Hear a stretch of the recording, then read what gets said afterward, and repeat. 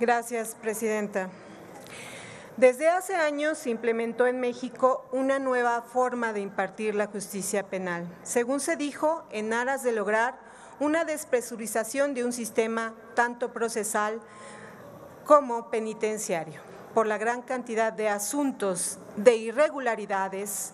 de lento avance, de corrupción a los presos pensando que con dicha transformación integral de la constitución política traería una mejoría en la forma en cómo se administraba la justicia en el país. Para ello, se creó toda una infraestructura administrativa, financiera y de personal, así como adecuaciones legales, entre las que destacaron la elaboración y entrada en vigor de un código procesal penal, que por ser homogéneo para todo el país redundaría en una aplicación horizontal de las leyes, amén de que se adopte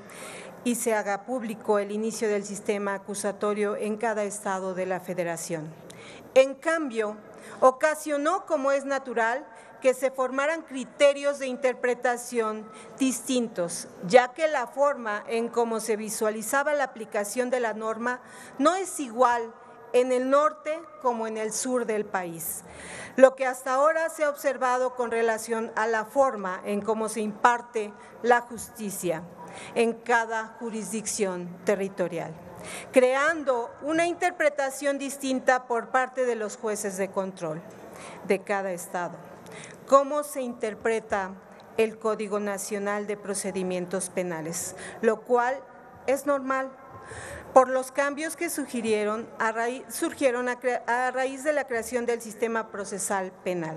siendo el Poder Judicial de la Federación, a través de sus sedes constitucionales, la que emite criterios a seguir cuando existen discrepancias notorias en la interpretación y aplicación de la norma general a efecto de generar jurisprudencia o tesis aisladas bajo la óptica de derechos humanos y equidad de género.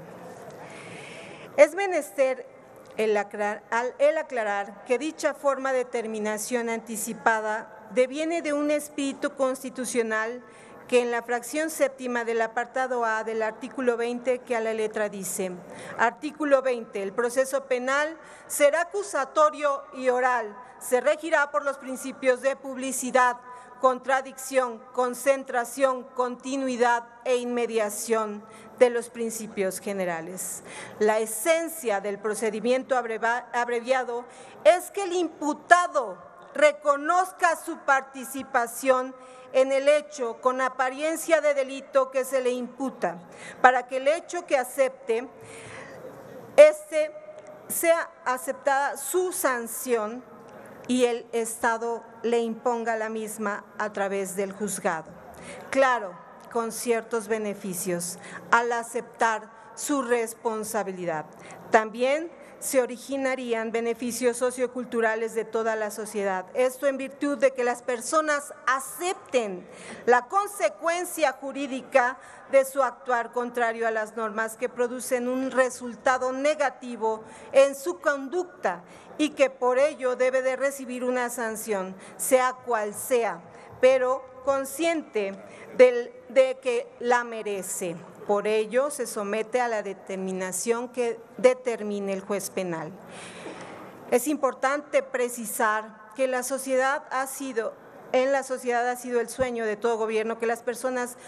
que forman parte de la misma vivan en armonía y que aquellas que rompen las reglas que se fijaron para todo enfrenten las consecuencias jurídicas que ello traerá, pero que confíen en que sean juzgadas de forma correcta dentro de un debido proceso que no deje a dudas que la sanción que se le imponga lo es porque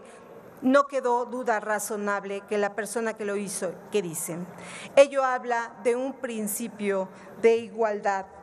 de igualdad procesal. El inculpado tiene derecho, no existe un monopolio del Ministerio Público. Y es el inculpado quien debe de tener el derecho también de solicitar